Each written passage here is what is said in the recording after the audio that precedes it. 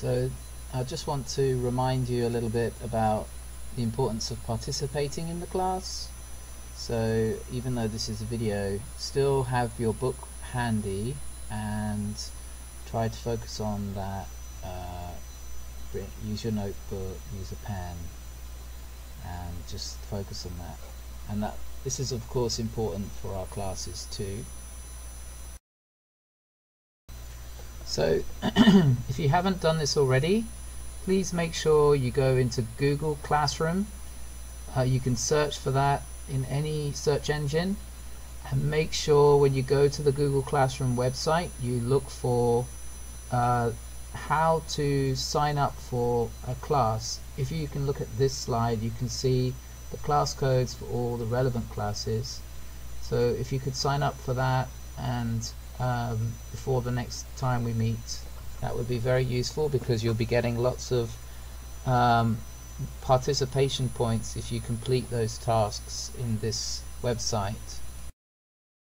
So this particular slide is for class 078. Please make sure you check the dates here.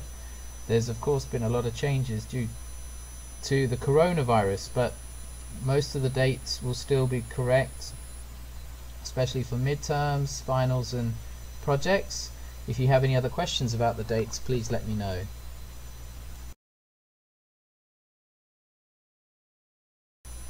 This slide is for classes o, class 035. Again, all the information here is about the midterms, the finals, the projects. Some of the dates are, weren't decided because of the problems with the virus, but if we if you have any questions please ask me on Kakao or in the classroom or through my email.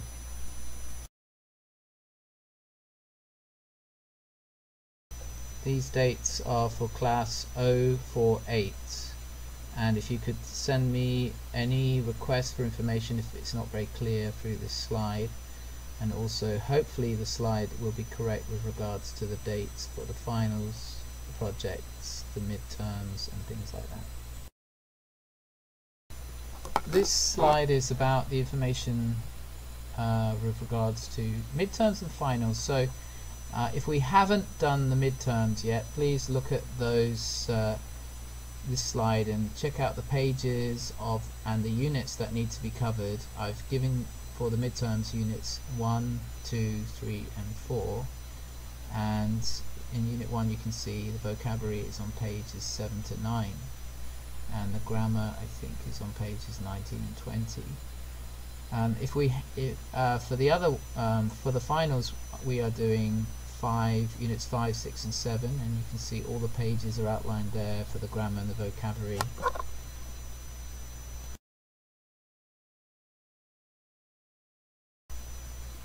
Don't forget to log on to the Google Classroom and onto Kakao OpenChat, which you should have by now. If not, please talk to another class member or myself. If any of you are interested in working in England, please message me and uh, I will let you know more about that. There are some schools in England where you can study IELTS and other courses and uh, this particular school is near my hometown so please go there if you want to study English.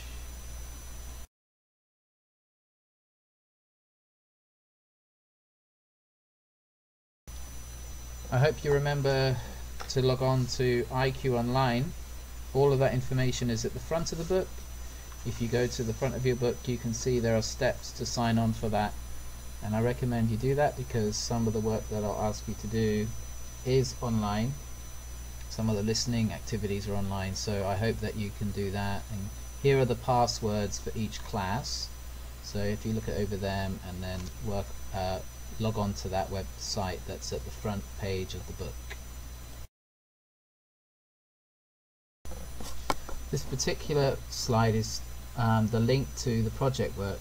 I hope that you're coming along with that and make sure you have a team ready to uh, finish that project and all the information is on the table which you can get through the link that link is found on any of the slides that I've sent to you via Kakao Open Chat so you should be able to connect to that and um, start to work on that project.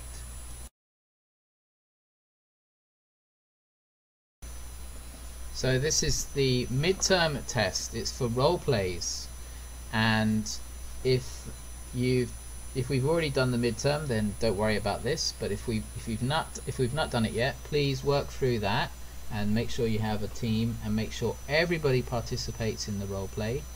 And um, we'll do that at the appointed time for the midterms. So we're continuing with Unit 6 and as you remember Unit 6 is about taking responsibility for our environment and um, the unit is on page 126 um, we've really got to care for our planet and we are so obsessed with with materialism and everything is so convenient but in our obsession about making life much easier we've also made our environment much worse. And so how can we improve this? Also another big problem is oil. We are completely obsessed with natural resources even though they are so bad for the environment. We're destroying our planet because of natural resources and um, we've got um, a lot of problems with that and we need to perhaps stop being so obsessed with natural resources but we rely on them so much. So we have coal mines. We have problems with uh, you know so much so much gas in the car and a lot of pollution and you know but we don't really consider what this is doing for our environment. So we need to really weigh up this situation and see if we can change our habits. We're so used to this. Um, there was an incident uh, many years ago in the Gulf of Mexico. Um, and it was in 2010 it was 10 years ago April the 20th 2010 there was a very big explosion in the Gulf of Mexico and it was on um, an oil offshore oil rig or drilling unit called Deepwater Horizon and the damage was so extensive that um, the people responsible had to pay out a lot of money. Um, the actual platform was built in South Korea, but it was owned by another company, and uh, and a lot of people died actually. The uh, around 12 to 15 workers were missing, you know, and 11 were killed. It it was one of the worst accidents in the history of oil rigging. And there's a movie about it. The movie's called Deepwater Horizon and it was a 2016 American biographical disaster film and the, it was directed by a director called Peter Berg and it starred um, Mark Wahlberg and John Malkovich, both really famous actors, Kurt Russell as well, and Kurt Russell's a really famous actor. And the movie actually um, I saw the movie. It was quite shocking to see, and it was quite upsetting. Um, it got a C minus on IMDb. It got 7.1 out of 10, and it's not as popular as it used to be. But I think it's a really good film. Um, and I think it was just one of those reality movies that was so haunting and so upsetting to see, you know. Um, and the other website that reviews movies, Rotten Tomatoes, gave it a B minus, 83%. The critics thought it was just worthy of a B minus. Uh, the audience liked it though. There was 82% of the audiences who saw the movie liked it, and there's lots of critics' comments there. So one person who really didn't like the movie said it was a huge disservice to the to history. They really didn't think it represented the situation very well. Um, other people just said it's an okay watch, not a great one. Some person said My only serious complaint about Deepwater Horizon is that it is not quite the muckraker I'd hoped for. Perhaps they wanted the companies to look worse off from this. Anyway, I recommend you watch this movie, um, and I think you'd enjoy it. It's a very good film, and yeah. You can either watch it or watch the trailers on YouTube. You, I think it must be on Netflix. If not, I'm sure you can find a way to download it and watch that.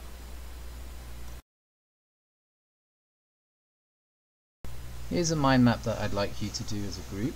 If you can perhaps call some of your friends from the group that you're in and talk to them about this. Um, we last time we talked about social responsibility and I'd like to continue with that theme and talk about antisocial behavior uh, and I think anti in England if somebody it commits an act of antisocial behavior then um, they can get into trouble with the police. And there's all sorts of things that are included in this.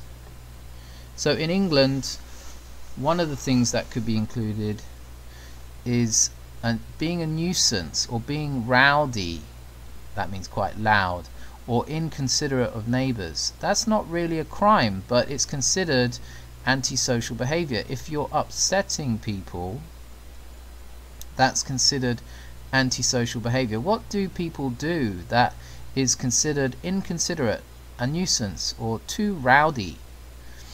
Another problem is vandalism and graffiti. Now, I hate it when I see a, a, a nice, a beautiful uh, wall that had been decorated vandalized by people with just bits of paint and spray. I just think it looks ugly and it's a waste. I think graffiti can be good. Some graffiti can be very artistic, but I don't think all graffiti is it look looks that nice. And or vandalism without you know without saying much about that, is obviously really terrible for society. Vandalism is destroying things that belong to other people or to the government. It just makes a place feel insecure, makes people feel upset and angry. I hate the idea of vandalism. As a child, I didn't really care much for it, but now I feel more adamant that people should stop it. Another anti uh, another antisocial behavior is street drinking. So in England you can drink in the street, but if street drinking is upsetting people, then it's probably not a good idea. So some people just carry the alcohol in a brown paper bag. but we really in Korea I see people drinking out in the street all the time. It doesn't seem to be a problem, but it can be upsetting for people if the people are so drunk they don't really care about what other people think. So another thing is environmental damage including littering, dumping of rubbish and abandonment of cars. So I often see litter in England and I'm sure it's in Korea too and that includes putting trash on the floor. In my neighborhood there seems to be a lot of broken furniture just lying around and sometimes there are cars that are abandoned. People who had a car just didn't want to drive it anymore. It was too much money. So they dumped it. They just left it and abandoned it. Other types are begging. I've seen beggars in Korea but there are also beggars in England. There's beggars in every country. Um, and that can really make people feel upset especially if they've been harassed by beggars. Beggars need to uh, make money somehow, but is begging on the street the right approach for them?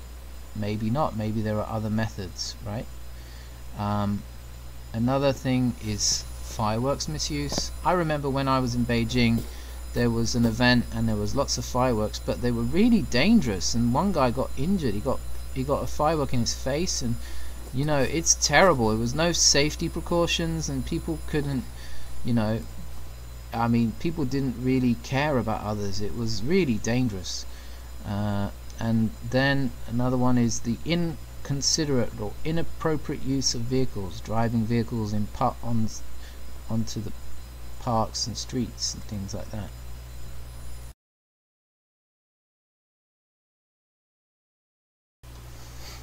So what do Koreans consider to be antisocial behavior? And what do you as an individual consider to be antisocial behavior? Uh, make your own list, make a mind map of that.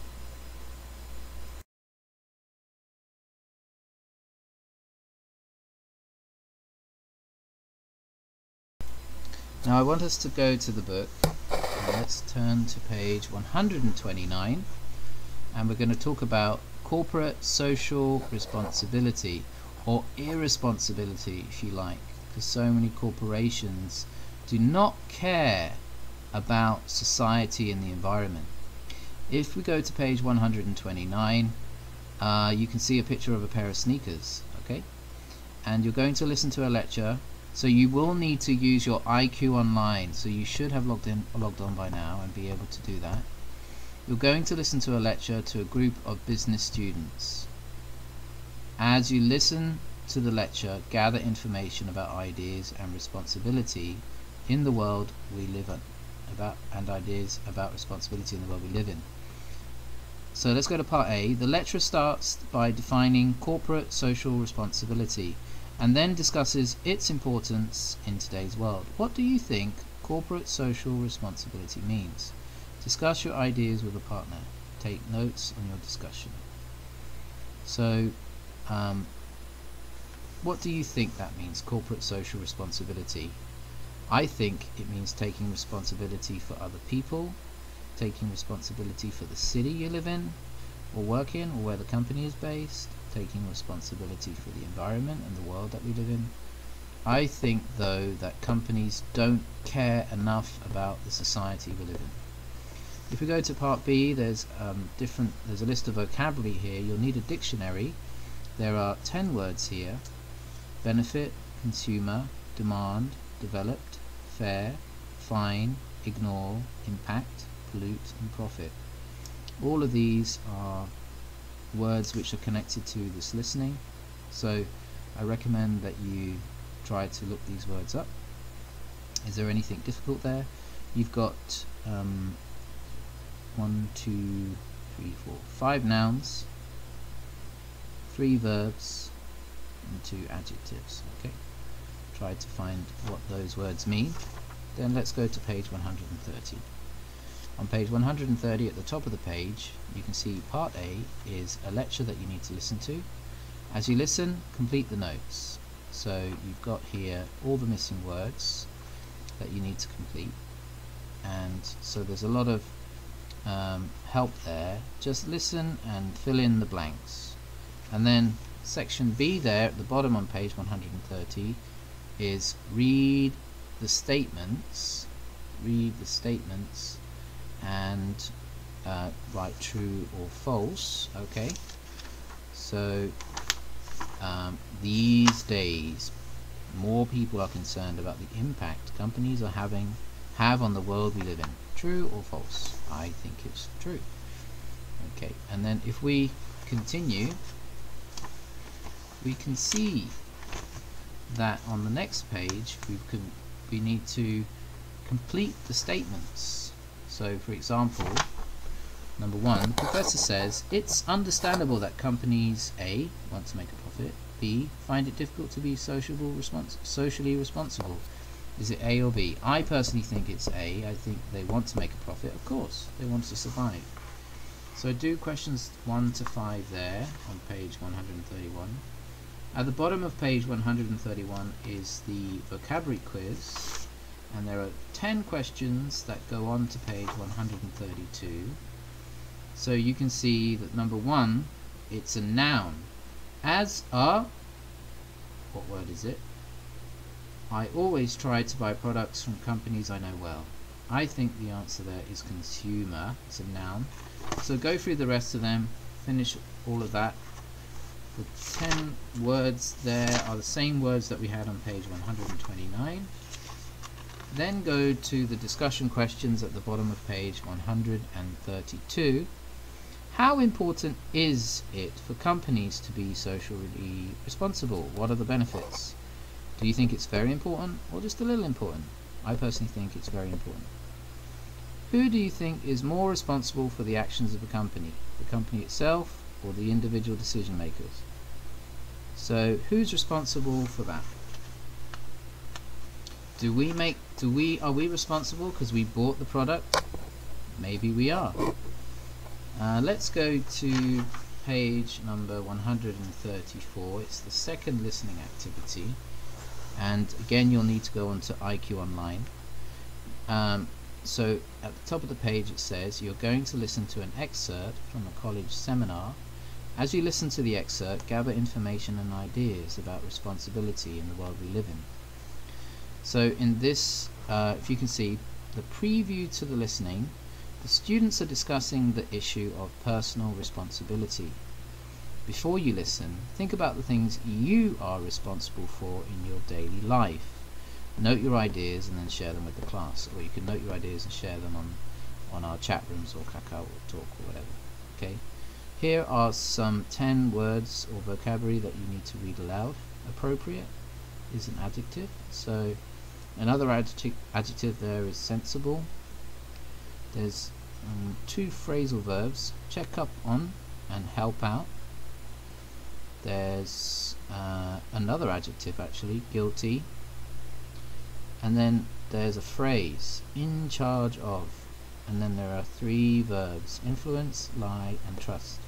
So if you could find out what those words mean from the dictionary and let's go to part A um, at the bottom of page 134 listen to the first part of the seminar on personal responsibility note the examples each student gives of ways in which they take individual responsibility at home.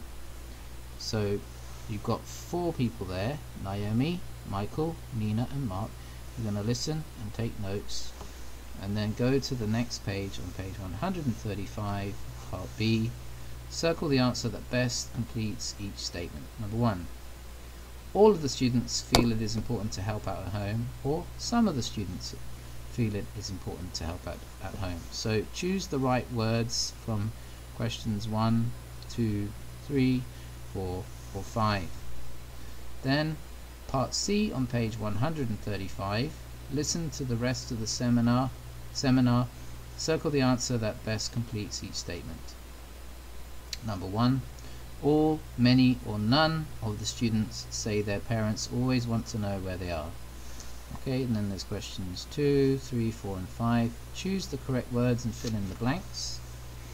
Um, part D, complete the sentences. Mark says his parents, jum jum jum, him a lot when he is out. So uh, try to remember the listening and answer those questions. And then part E, what two reasons does Neil give to explain why his parents don't like him playing video games. Does he think his parents are right to be worried? What's your opinion? Okay, so that's about video gaming and why that upsets parents. And then let's go to page 136 and this is about vocabulary and you can see here uh, the the you're meant to take the words which are in bold and uh, match them with the um, definition of the words from A to J. So the words in bold from 1 to 10, you need to match them from A to J. So, for example, the word appropriate, it's not appropriate. Appropriate is an adjective, okay? And uh, suitable or right for a particular situation, personal use, it's J. So number one is J, but do the rest there, try to finish that. Now let's turn to page number 142 and we're going to look at speaking skills and today we want to talk about leading a group discussion. When discussing a topic in a group it is important to choose one person to lead the discussion so we need a leader. The role of the leader is to guide the flow of the discussion.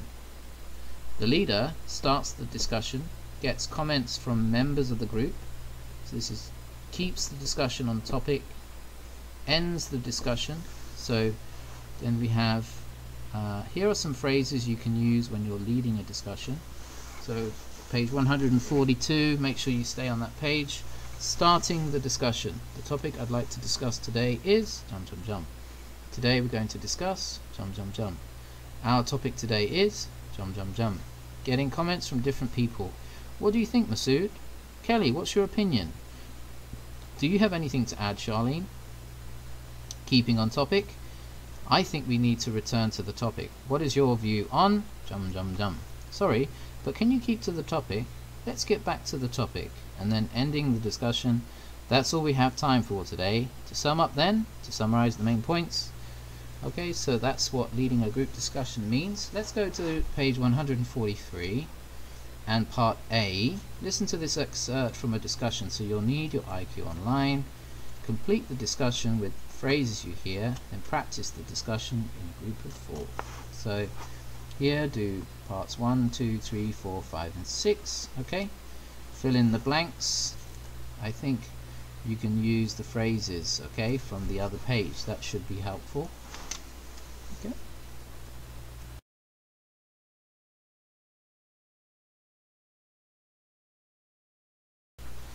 so now I want to talk about a game that I want you to do with your group.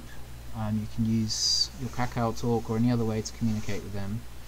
Um, this game is about, it's called Awards and you know, I know that uh, recently the movie called um, Parasite won Oscars and everyone's really happy about that and BTS won a few awards I guess everyone's happy about that too now First of all, I want you to mind map all the awards you can think of. So there's music awards, there's acting awards, there's all sorts of creative awards that people get. There's even Nobel Prize, these sort of awards. So in your group, think about different awards that people get and around the world. Some people get awards for, you know, uh, movies, you know, like Oscars but there's other awards. There's Mahatma Gandhi Peace Prize. There's the Pulitzer Prize.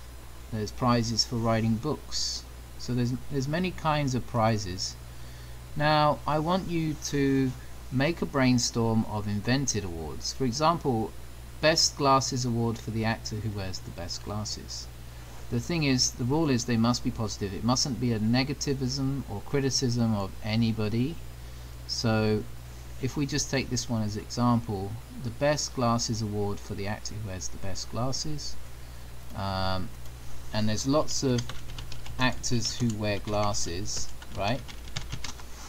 Uh, so, I mean, Jennifer Aniston wears glasses. Lots of people wear glasses, you know. Some of people I, I don't know all the people who wear glasses, but there's a lot of people who do. Um, who looks the best in glasses? Who looks good in glasses? Who does not? Cate Blanchett wears glasses. Um, you know, Adams, Andy Samberg, Courteney Cox, Rihanna wears glasses. Justin Timberlake wears glasses. Uh, so Idris Elba wears glasses. Yeah, lots of famous actors wear glasses. But who wears the best glasses? So you can think about that. Choose two categories of awards that you would like to find candidates for okay? Uh, maybe you want to say the woman with the longest hair whatever. Each group member describes someone you know who deserves that reward okay? So you then describe that person you talk about them. One person in the group does the note taking so this really is a, is a group chat thing online and you can discuss and choose the candidates from the list. And then you share with the class. Maybe you can share with the open forum that we have if we've got open chat at this time. You can do that. So this is the sort of uh, basically like a kind of a task based around um, making an award for people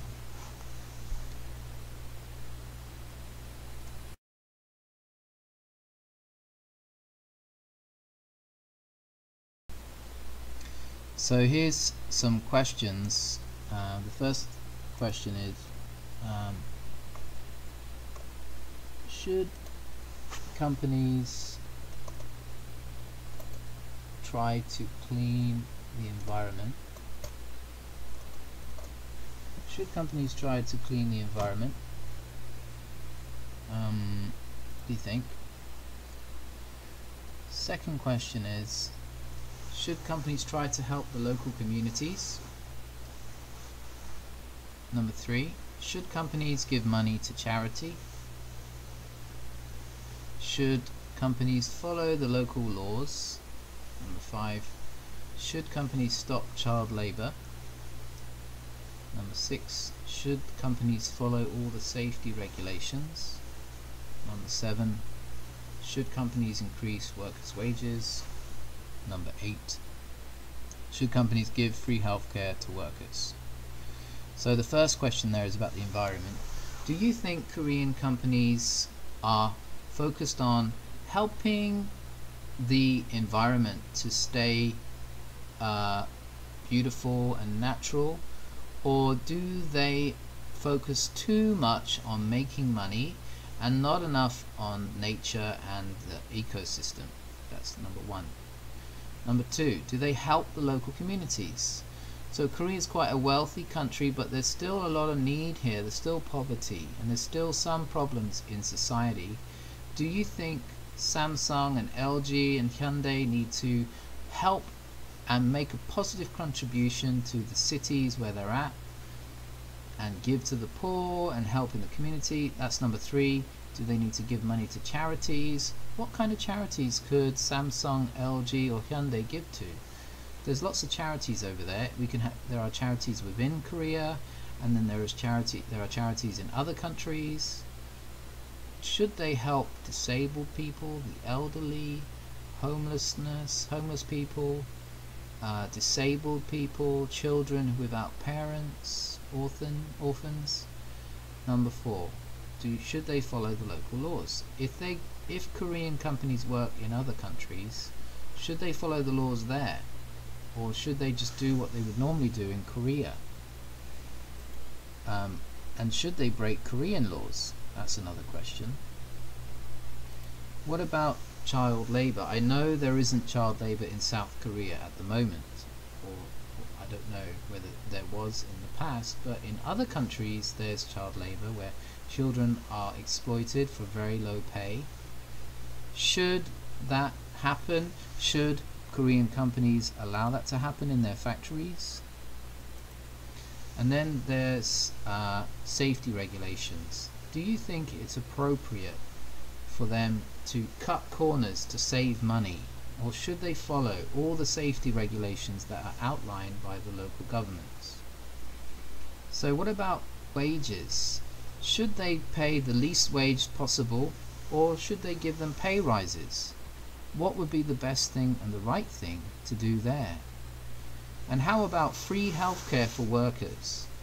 Should they give them insurance, health insurance, so that they can get free or cheap healthcare. What do you think? Discuss those with your teams.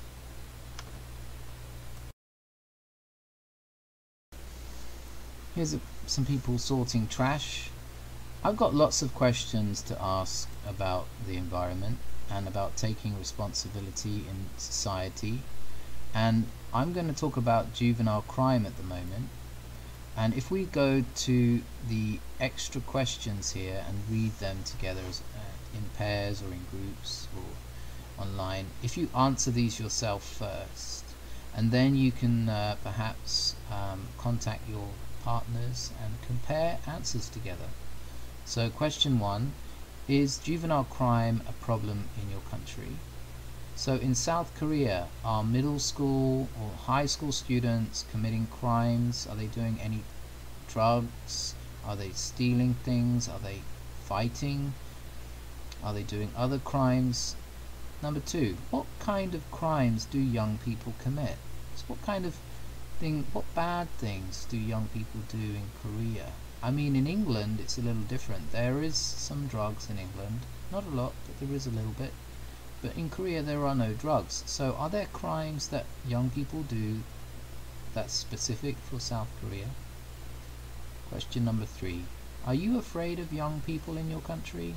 When you walk down the street and you see a gang of boys, how do you feel about them? Mostly, I'm never I'm never afraid of young people in Korea because they're all like studying in academies and they're not really in gangs. Number four. At what age do young people turn to crime? So in England, I think people turn to crime when they're very young. Um, but what about Korea? I think it depends on their circumstances. Are they from a poor family? How much money do they have? Number five. Why has juvenile crime increased in the past decade? So why has youth crime increased in America and England? There's a lot of drugs and knife crime and bad things in America and England. Number six.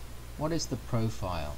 What are they like? The average juvenile criminal. Are they how young are they? What is their background? What kind of neighborhood do they come from?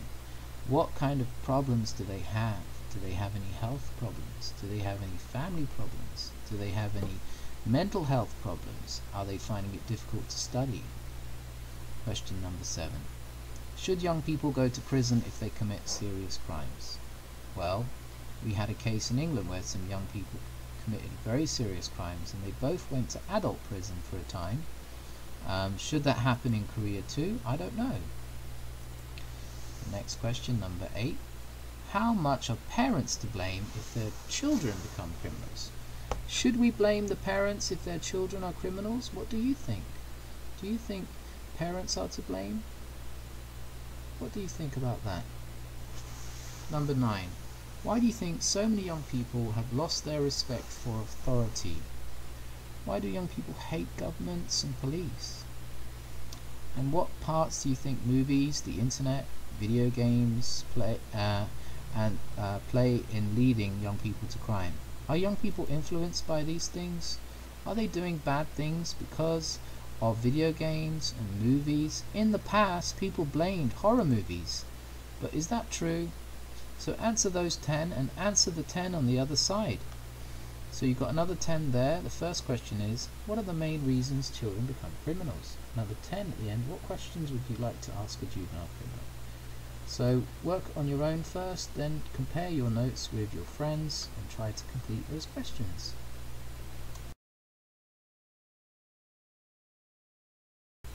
Here's another activity that you can do alone first and then compare with other people in your class. The first thing here is it's a letter um, and I want you to answer the letter the best way that you can so the person it's to is mum and dad. The person it's from is their son Mike. Okay? So let me read the letter to you and then I want you to think of what the parents could say or how they could answer. Dear mum and dad I tried to ring you earlier today but couldn't get through for some reason. Now I've borrowed some notepaper and stamps just to let you know what has happened. Last night in the youth hostel at Innsbruck someone stole my money, my passport, my Interrail card and my camera. I'm furious that I hadn't put everything in my sleeping bag with me as I usually do. This morning I went straight to the police but they weren't very hopeful about getting my things back. The th the thief the thief has probably cleared out of the country. I've hitchhiked to Salzburg to try and get some help from Uncle Harry and Aunt May, Auntie May, but they seem to be away. All the blinds are down and nobody answers the phone. Still, they aren't expecting me till next week. I don't know where to I don't know where or how I'll sleep tonight. Perhaps at the station. Thank God it's warm. Please, please, could you send me some money as quickly as possible, care of the main post office? I wish I had the money for a telegram. Do hurry. I'll try to do something about the passport and interrail card tomorrow. But money is the most important thing. I've got very little food left. Okay, so Mike's not starving. He has got a little bit of food, and I think you could live a few days without food, but you do need water. So hopefully he can find some water. So his first problem is he tried to call them but they didn't answer, right? And don't and so that's a, that was the first problem. Why didn't they answer? Second problem was he had to borrow some notepaper and stamps, and that's why he's written this letter. So he's strange. He's got no notepaper, no stamps. Then he talks about the real situation. Last night in the youth hostel, somebody stole his money, so he has nothing to buy food with or travel with.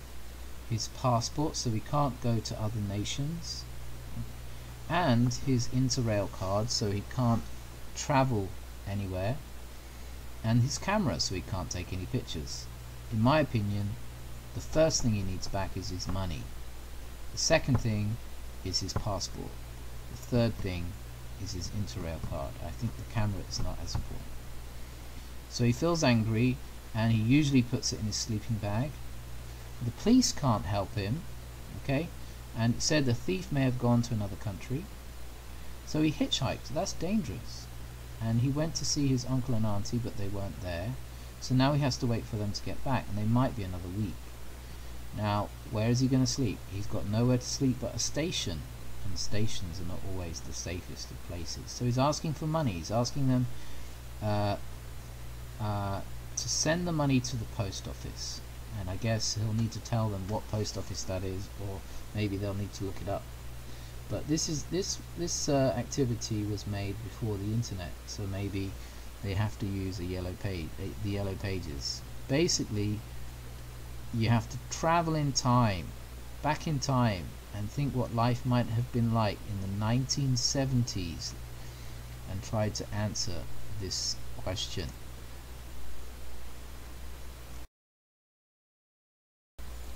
So this is a role play that you'll need to do with your team.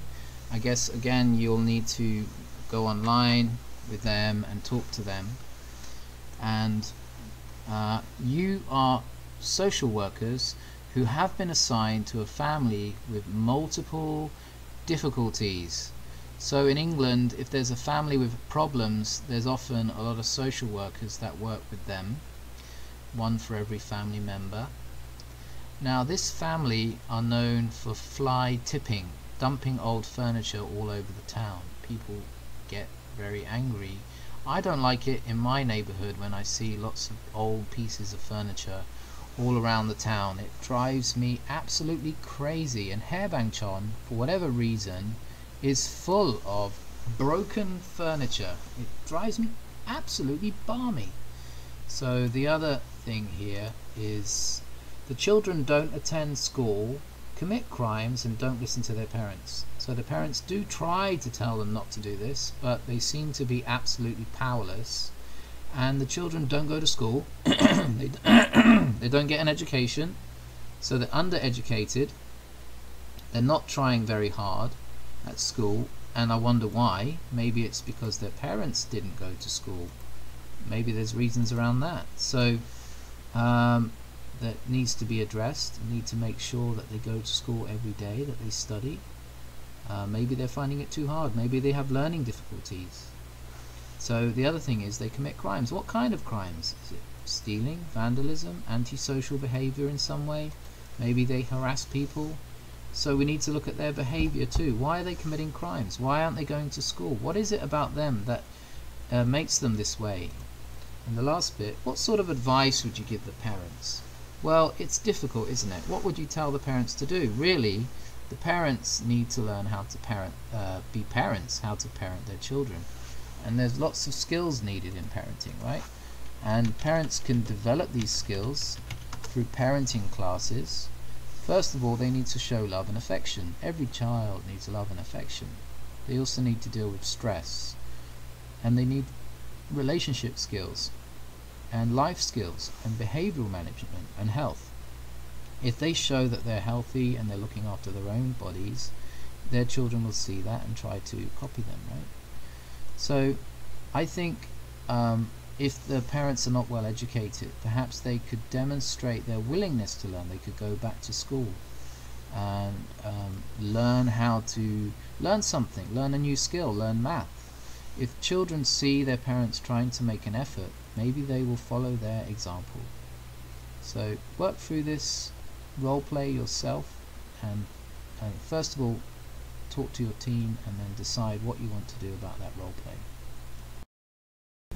Thanks for listening to this video. I hope that you learn to take more responsibility. Here's a trash dump here. It's somebody in there. What are they looking for? I don't know, but it's a terrible place. I hope that we're responsible with recycling and dealing with our trash. And let's make the world a better place.